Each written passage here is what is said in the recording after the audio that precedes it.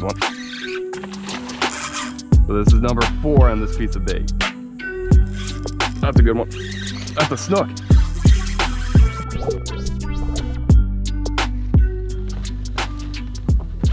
What's going on everyone? In today's video, I want to do a technique that I honestly have used a lot on this channel, but not a lot recently. I think it's been a couple months since I've gone out and kind of exclusively use this technique. So everything is lining up perfectly to go try and use some uh, cut bait underneath some mangroves. It's a very effective technique to catch redfish in the middle of the summer because they try and get into the shade, into the roots of the mangroves, really to get out of the heat and just that structure and there's a lot of bait over there. So it's a very good technique to use here in the summer months and I haven't done this in a while, so I'm kind of really excited for this, especially on this extremely high tide that I have right now. My personal favorite fish to use as cut bait is pinfish. Mostly because it's very easy to catch them. There's a bunch of different methods. There's like, I guess four different ways you could get pinfish. The first one being going to the bait store and buying them. Second way is to set out a pinfish trap if you have access to the water. You could go out ahead of time, buy a pinfish trap, throw some chum or some like sardines or anything in there and catch some pinfish that way. But probably the most common techniques are the last two, which is using a sabiki rig tipped with either like shrimp or like gulp shrimp, squid, anything like that to catch them, or throwing a cast net. And today I'm gonna start out by throwing a cast net. So right now I'm set up on a grass flat, it's about three and a half, four feet deep, and I'm gonna throw out some uh, dry chum, see if I can chum up some of these pinfish before throwing the net. And you can get this dry chum from any local tackle shop really. Just walk in and usually just kind of sell them in uh, Ziploc bags. Or you can buy it online in like the five to like 20 gallon size containers. So right now I'm just gonna go ahead and get some chum ready and then start throwing a net, see if we can get some good sized pins. Go ahead and close this, got the, the live well filling up. Got my cast net right here. I got a new cast net pretty recently. This is a uh, Fitec cast net. I got it at Tailwater Outfitters and it's been really good for me lately. It's, let me see the specifics on it. It's a 10 foot net with quarter inch mesh, uh, 1.6 pounds per radius foot. So I like it so far. It's a good net. There it is. There's my net. I got my dry chum right here. Have it in this bucket. Take a couple scoops out. That'll be plenty. I come over here and you just want to splash some water in there and you want to mix it so it gets the consistency of like Play-Doh. That's the consistency I was looking for. Perfect. Now we'll go up to the front of the boat, start chumming, see if we can get some good sized pins. We're really looking for, honestly, the biggest pins we could possibly find. So I'm just gonna take my, my dry chum right here, make little balls like this just throw it out here on this flat. I'll do this for about three to five minutes. Throwing one every like, I don't know, like 20 seconds. Then eventually you should start seeing some pinfish coming up in your chum and attacking it as soon as they hit the water. Like right now, there's already little pinfish in the chum. That's only my second toss. If you wanna know how I like to throw my cast nets, did a tutorial video on that not too long ago. I'll have that link down in the description. Here we go. Cast net ready. Go ahead, throw a couple. Up there. And throw it on it.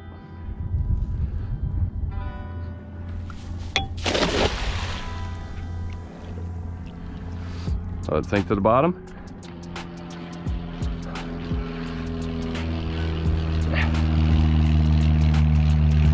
See a couple in there. A couple good ones. Didn't kill it on that throw, but I got two good ones. And a catfish. Luckily that catfish didn't get uh, stuck in the net. I'll take that. Yeah, this is a good size pinfish right here for cut bait. Perfect size bait. This one will work too. A little bit smaller, but that'll work. The catfish will not work. All right, let's throw a couple more times.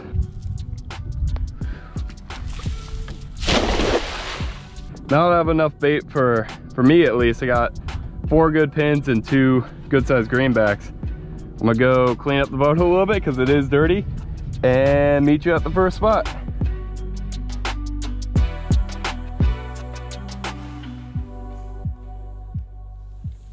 Made up to the, the first spot here. It's a spot in the mangroves I haven't been to in a while. It's not my go-to honey hole. I wanna try some other spots here first before I do that. I see some fish pushing over there, so that's a good sign. But wanted to go over the rig I was going to be using. This is my Penn Battle 4000. I got 20 pound braid on here and it's on my St. Croix Mojo Inshore 7.6 medium power rod. For a rig, I have about a two and a half foot section of 25 pound fluorocarbon leader tied to a 4.0 circle hook right here with a split shot about an inch above it. You don't really need too much weight and it doesn't need to be too far off. So this is just to make sure that it stays right on the bottom, right where I cast it. I'm gonna have the drag pretty tight because there have been some big redfish around here lately. Some up in like the, the low 30s, a lot in the upper slot, high 20s. So hopefully we can get some bigger ones. We'll probably get some around the 18 to like 22, 23 inch mark. Hopefully we can get a couple big ones. Get some baits out there. All right, so I got a good old piece of cut bait right here. Just took the head off and the tail off from a pinfish along with the dorsal fin and anal fins to make sure you get all the, you know, pins off of it. Just to make it as easy as it can be for the pin or for the redfish to pick it up without getting poked. So now I'm just gonna aim for this little cut in the mangroves, get as far back in there as I can, and then it'll become a waiting game. There we go, right in the middle. So now that my bait's in there, I'm just gonna watch the bow in my slack right here and just really watching this for a bite. It's either gonna tighten up on me or it's gonna go slack or start moving left or right. Tide's going out now. Was a super high tide and this is kind of best case scenario. So the water's gonna be moving, fish are gonna be moving. It's gonna get that scent all through the roots and hopefully a redfish is gonna swim by and find it. But you could also get uh, snook and trout doing this too. Probably next to the mangroves, it's either gonna be a redfish or a snook though.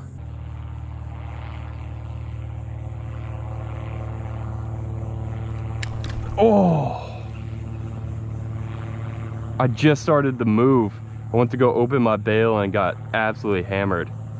All right, there's fish in there. All right, got another piece of cut bait. That fish did not seem small. That was just bad timing. See if we can get another one to bite.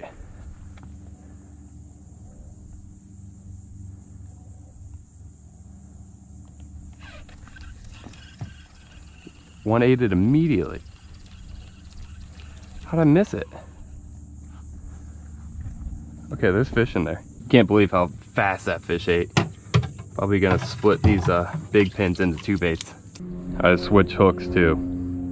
Wasn't a big fan of that uh, Gamakatsu 4.0, missing those fish. So I got a 3.0 Trokar on there now. See if this will get them. There we go.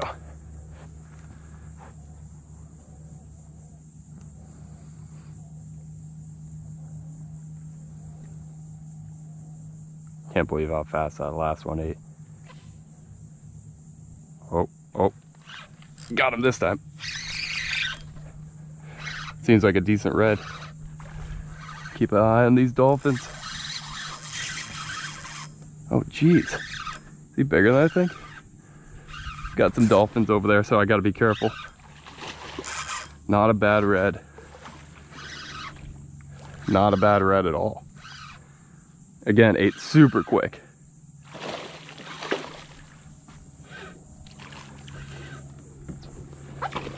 There's so many dolphins over there chasing mullet. I gotta be careful with this guy. Oh yeah, not a bad one. Probably 24, 25. Oh my god. This dolphin. I'm gonna see if I can. Okay. Want to make sure this dude's gonna be fine with these dolphins. Come on, come on over. He's a thick one.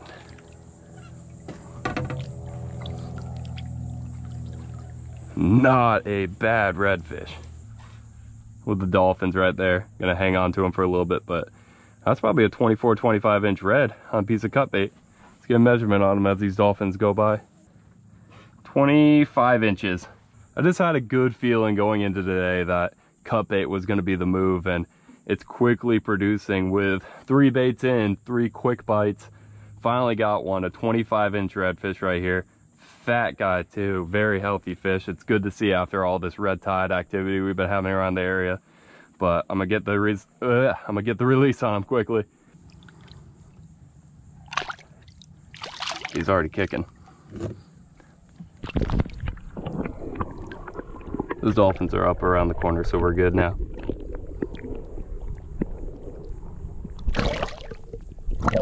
There he goes. See you, dude. You can see him right there in the grass. Got the other half of that big pinfish. See if we can get another one quickly.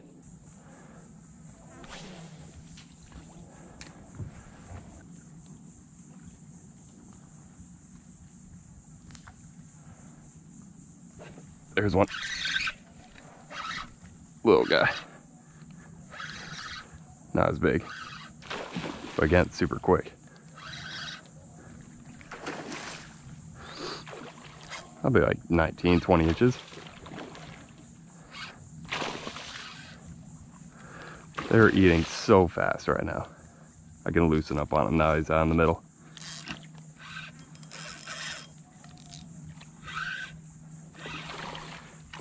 These fish are hungry in there right now. They might be bigger than I thought. Like low 20s. Yeah, I'm going like 21, 22. Again, a super thick fish.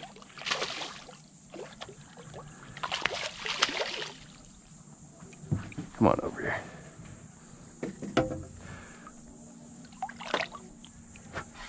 Another super healthy redfish.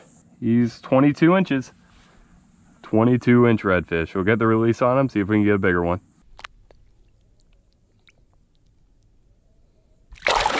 See you, dude. Another piece of bait right here. Get the hook in it. Let's get it back in there. Let's see how many reds we can pull out of this hole. Right back in there. I like how I missed two fish on the the first hooks I had and then switch hooks and I haven't missed a fish since then. Honestly, it's good when pinfish are pecking at it like they are right now. Uh, just that little bit of extra action around the bait and also just help get some more scent in the water with them tearing away at it.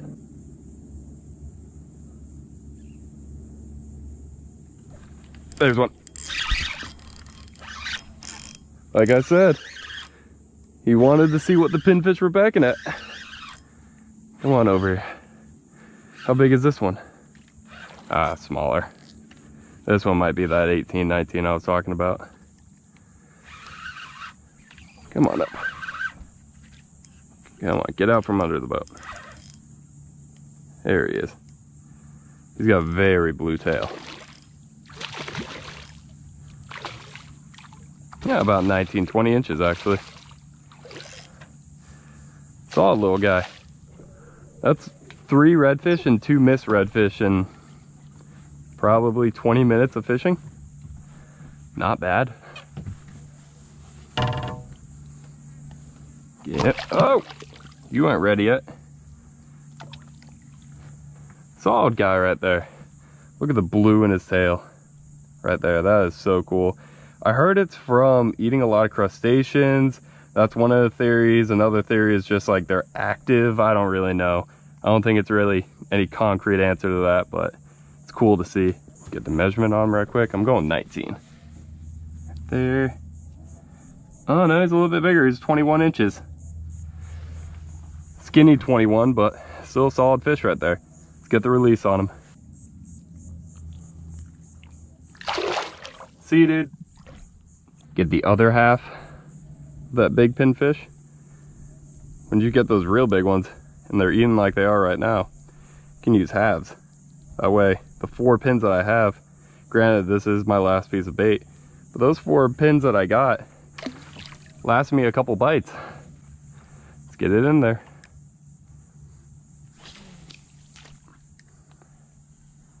Right there, that'll work. Tie my drag back down immediately. Jesus, they are hungry right now. This is immediate. This is wild. It's another like smaller one, probably 19, low 20s. I say all these are 19 and they all come up like 21. He's digging it into the grass. Ooh, let's see if we can keep my bait. That'd be clutch. Come on. Oh yeah, this one's the smallest one of the day by far, but he ate within seconds of that being in there.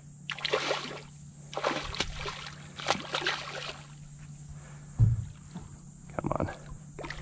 Let's see if I can keep my bait.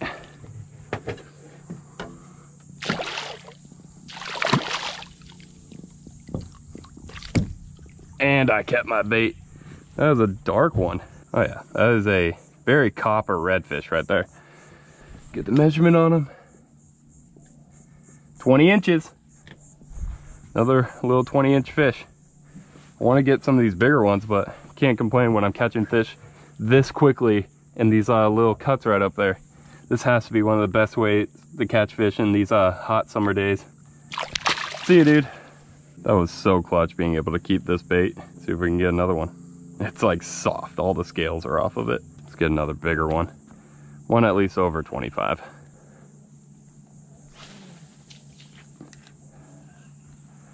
Right there.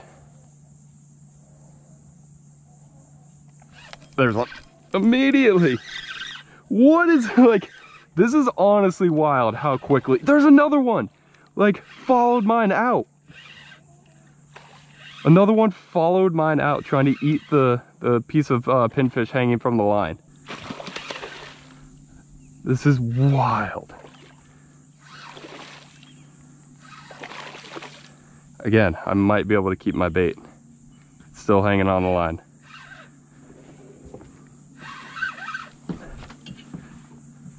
There was another one about the same size, so not a big one, but followed him out trying to eat the, the pinfish off the line. Come over here.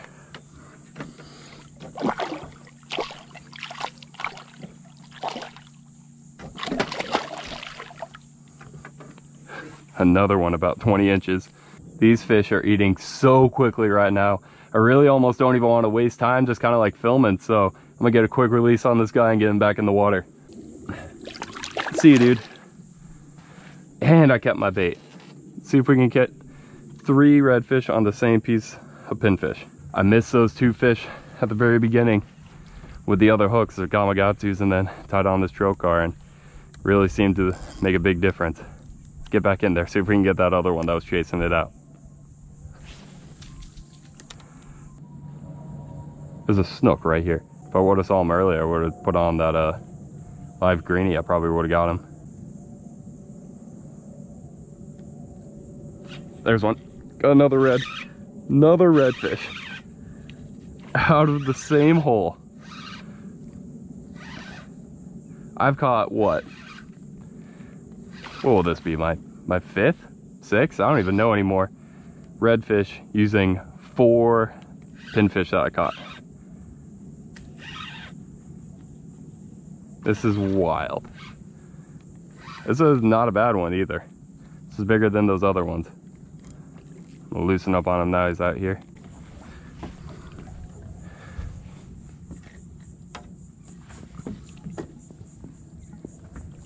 There he is. Solid fish. Kept my bait again. My third redfish on the same piece of pinfish right there. He's got the two spots on this side, one on this side. Very pretty fish, probably about 22, 23 inches. Let's get the release on him. This is unreal how many redfish I'm pulling out of this one hole and how quickly they're eating. And I'm just getting lucky with keeping the bait and they keep eating. So let's keep going.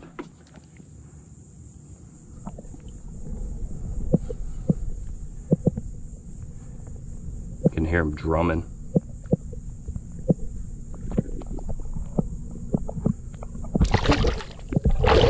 He's almost ready. He's almost ready. See you, dude. I have successfully caught three redfish on this one piece of bait, going for number four right now.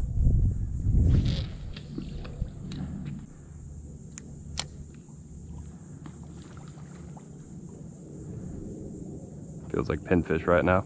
Nope, not pinfish. Definitely not pinfish. Didn't really tighten my drag back down. But this is number four on this piece of bait. This is one of the best little sessions of cut bait fishing I've done in a, at least in a very long time. How big is this one?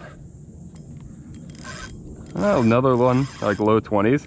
I just didn't tighten my drag down like all the way like I did on the other ones at the very beginning. Looks like my piece of uh, cut bait is finally gone after four redfish. Come on over here.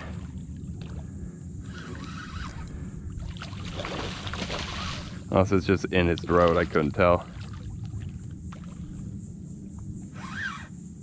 Yeah, this is not a bad one. Another thick one for his size with a big head. Nah, the piece of cut bait's gone. Rip. That's a solid one right there. Probably like 23, 24. 22 inches. The vast majority of these fish have been in the low 20s with that one that was like 24, 25. But these are all very solid fish and you cannot complain when they're eating as quickly as they are right now. Get them back in the water. Wash that off for you, bud. And he's already ready to go. There he goes. See you, dude. Got one more greenback left, I'm pretty sure. Last bait right here, the back half of that last greenback. It's already been an epic day, but let's see if we can cap it off with one more good redfish. All right, I'm in there. This is just an unreal day of fishing right here. You guys have to try. There's one. That's a good one. That's a snook. It's not a bad snook either. Come on. That is not a bad snook. Not a bad way to end the day. Got him out now. Not a bad snook on the piece of cut greenback up there. That might have been the same snook I saw earlier. Immediately knew that wasn't a redfish when I came up and jumped like that. Untire himself out, out here. Just gotta keep an eye on the potential dolphins over there. Dolphin loves snook.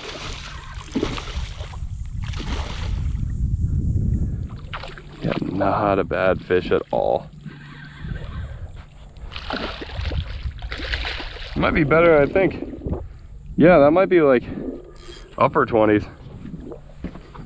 Come on over here. Trokar around the corner of the mouth. And I got him. Not a bad way to end the day right there. That was a nice snook. Go over here and get a measurement on him. Dolphins are right there, so I gotta be careful with this guy. Right there. This is a that's a slot snook. That's 28 and a half inches. Beautiful fish. 28 and a half inch snook right here to end the day on cut bait of all things. Like this goes to show you how versatile cut bait can be, especially up here on the mangroves on high parts of the tide during the summer. So let's get a quick release on this guy. It's been an unreal day. Since there's dolphins all around, I moved right up next to these uh, mangroves to see if I could get a good release on them back right into the the roots. Oh yeah. There she goes. See you, dude.